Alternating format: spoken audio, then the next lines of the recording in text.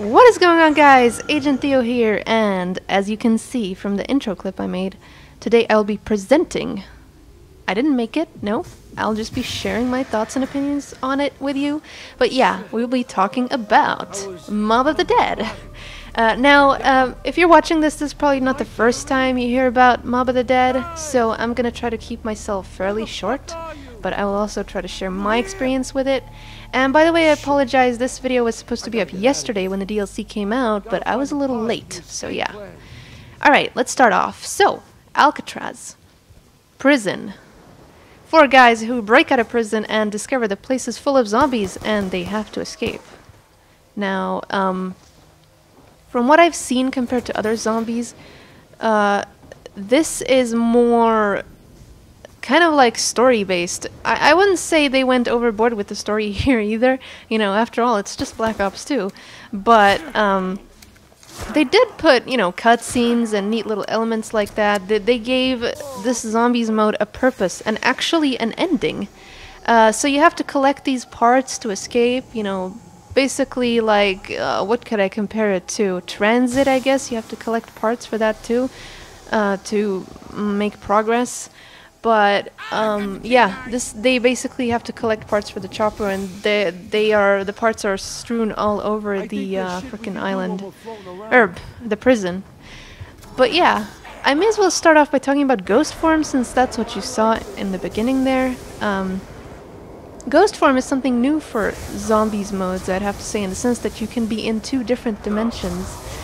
Uh, uh, and that is pretty cool because sometimes you need to be in ghost form.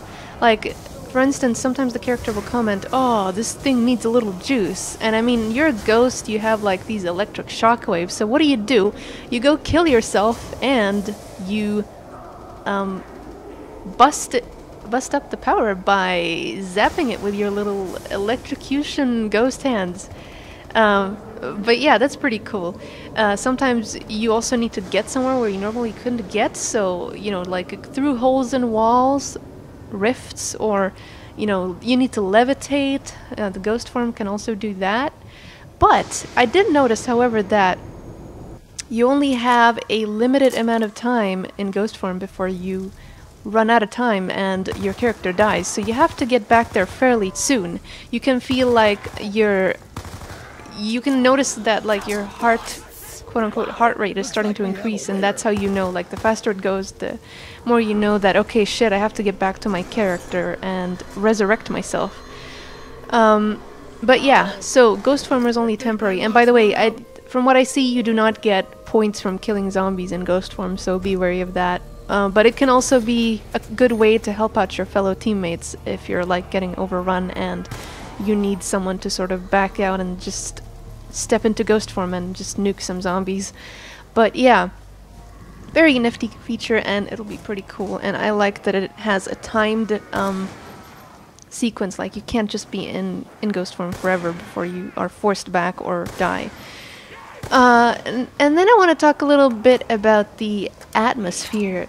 From what I see, there is a lot of doors to open. And when I say a lot, I mean a lot. Uh, so you do need to rack up a lot of points. And at the, at the start, you don't really know where the parts are, so you kind of have to guess, which means sometimes you open some unnecessary doors. It's just pretty cool. Um, the hallways are freaking narrow. Um, you know, it's a prison, so there's not a lot of room. Uh, it's really just a really kind of claustrophobic atmosphere, um, but it is, it is pretty cool. I like the detail they put into the environment. Um, it feels very much like a prison, and you get to visit some uh, other areas later on that look a little different. One thing I liked was like this dungeon type place where they sort of kept prisoners. I think I even saw this guy uh, hung up on the wall somewhere. That was pretty cool. Um, and you also get to visit outside areas later on, obviously. But yeah, as you progress, you know, more areas of the prison become open to you. Um, but it is very big, and I'll tell you, it is very easy to get lost. Um, oh, what else? There is some neat little features that I noticed.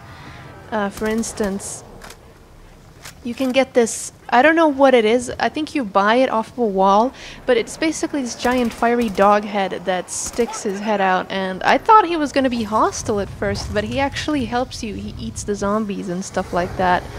Um, there are also traps that you can buy, like gas traps, spike traps, which cost regular points.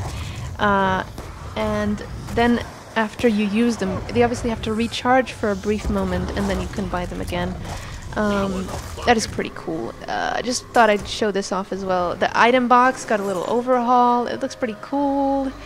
Um, overall, I'd have to say it's a pretty cool looking zombies map. Um, I like the fact that it has an ending. I mean, you can actually get somewhere and it doesn't feel like you're just moving on and on and on. Hopefully I've shared enough of my experiences with you to decide whether you want Mob of the Dead or not, but if you are one of those people who really enjoys zombies, uh, by all means get it, because I do think it's a very worthy entry. And if you do get it, I hope you have a lot of fun with your friends, and yeah, that is pretty much it, so thank you guys for watching, stay epic, goodbye.